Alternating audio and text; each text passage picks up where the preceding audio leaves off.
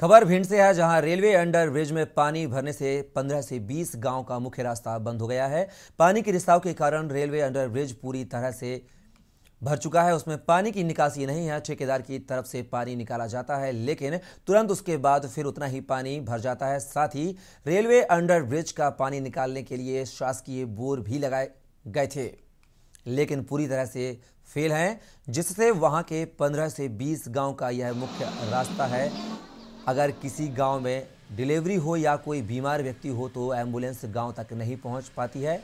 वहीं गाँव के लोग जान जोखिम में डालकर रेल की पटरी पार कर वाहन निकाल रहे हैं। स्कूली बच्चे साइकिल कंधे पर उठाकर रेल की पटरी पार कर रहे हैं।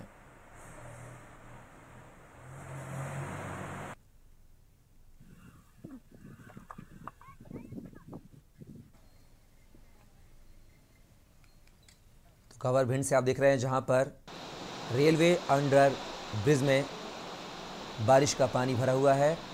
लिहाजा लोग मजबूर हैं रेलवे पर। जी, बहुत परेशानी है यहाँ पे। जब से इसका निर्माण हुआ है ना, तब से इसका पानी सूखता ही नहीं है।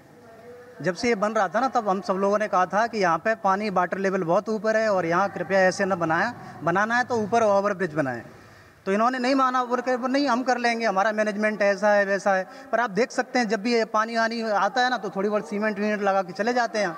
कुछ भी नहीं हो रहा।